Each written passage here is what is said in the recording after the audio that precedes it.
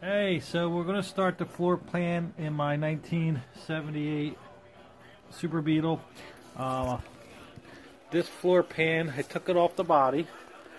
So if you can kind of see the whole chassis here.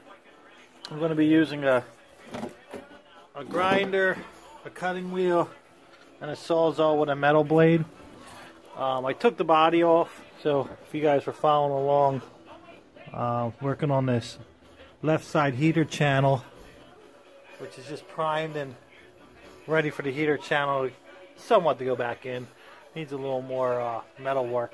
But before I put that heater channel in, I want to do this floor pan, and I probably got to do this. I think they call it a, um, a or something like that. Neapold. So we're going to do this frame. I took off a lot of this uh, frame sealer, this little black stuff, just to see where the welds are at. This is pretty chewed up really bad. I'm going to actually get down to it and take a look at it before I replace it. So I'm going to cut this off. These bolts are pretty on there good. I'm going to wire wheel grind them off and see how good or bad this piece is. I think it's pretty shot. But if not, I have a new one right there if I need to put a new one on. Um, I'm getting all my products from Wolfsburg West. So guys over there, thank you. This I'm going to clean up. I think this is all a little rusty, but the metal's real solid. I'll clean that up and refinish it. But I'm worried about this and the floor pan. And the other floor pan will be next. You can see that's really shot. So uh, what I'm going to do is I'm grinding it off to see where the uh, spot welds were at. So using the grinder right there. And that then shows me where the spot welds are at. And what I can do with that is then use a drill, small drill bit to drill those spot welds out. But what I want to do is try to save this, see how bad it is. Uh, so I'll film in a couple minutes.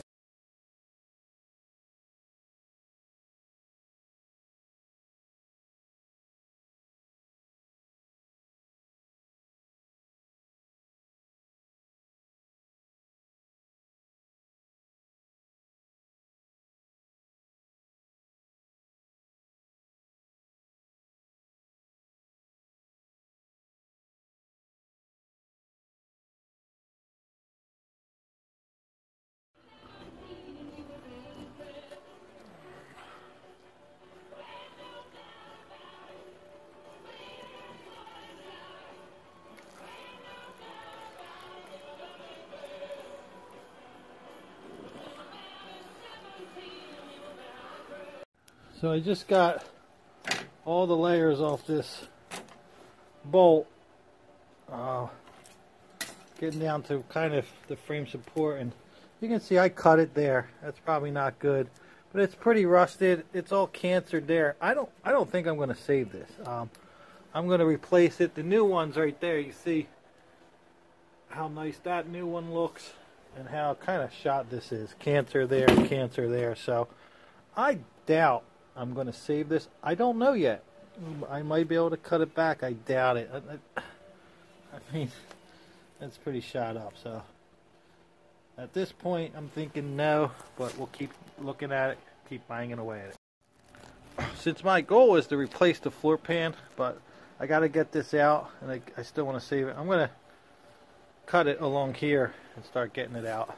Checking, checking back in. I'm getting this floor pan off instead of fighting with all the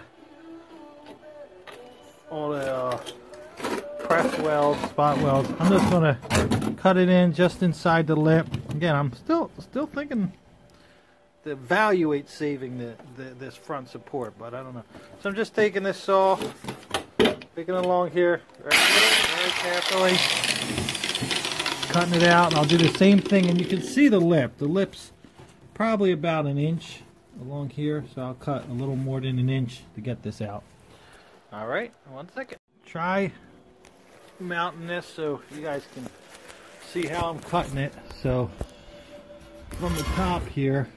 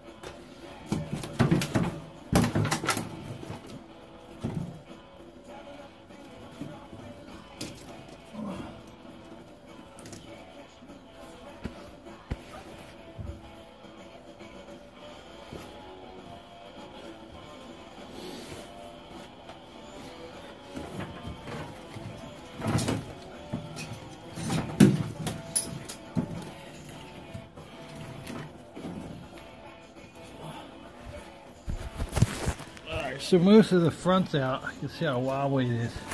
I'm going to continue to cut kind of on the same seal right down the back. I'm going to get most of this pan out and then I'll clean it up. Alright, so we cut off wheeled this left floor pan out.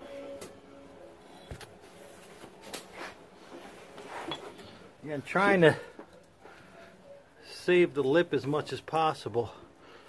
So next I'm going to take all this old uh, frame rubber seam sealer out and then slowly grind out all the metal. One thing I hope I didn't mess up is under here. Uh, up under here. I hope that that didn't cut too much, but if I did, I'll just have to weld and repair it. And I don't like this corner here, but we'll work on that as well. That was all kind of welded together with some bad repairs from the prior owner, so we'll work on that as well. Alright, so I took a wiring brush and wired down some of the rust along here. You can see another bad old repair. I'm going to grind that out. So I'm going to take the grinder and start grinding out some of these um, press welds, spot welds, and get this out cleaner. I'm also going to take some measurements so I know how far these are apart, this bolt and that bolt.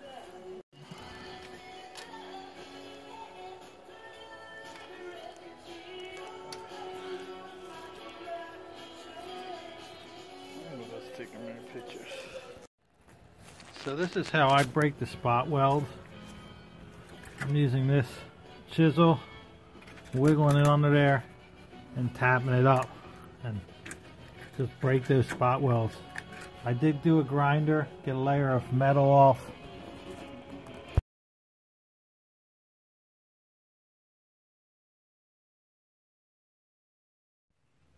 Alright, so here here we are status of where we're at with the 78 Super Beetle.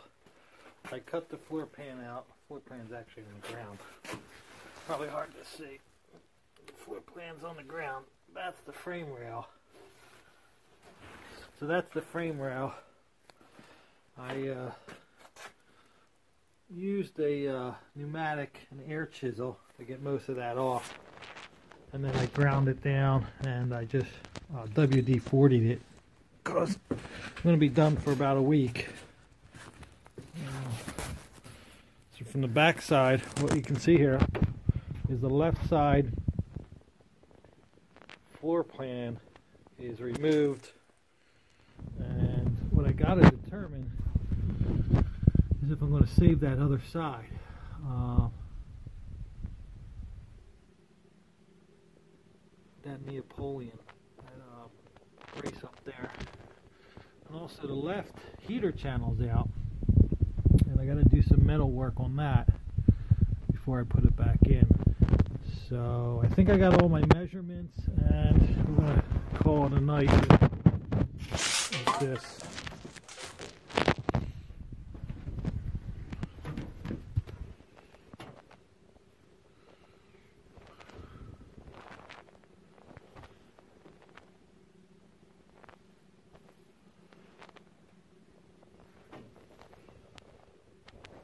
So that's the status. That's where we're at with this 78 Super Beetle.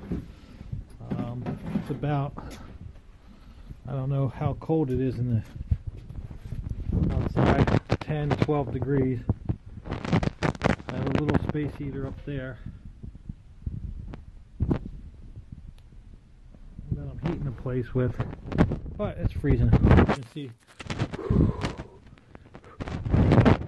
that's where I'm at with my 78 Super Beetle.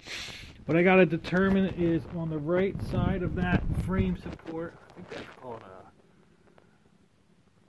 Neapold or something like that.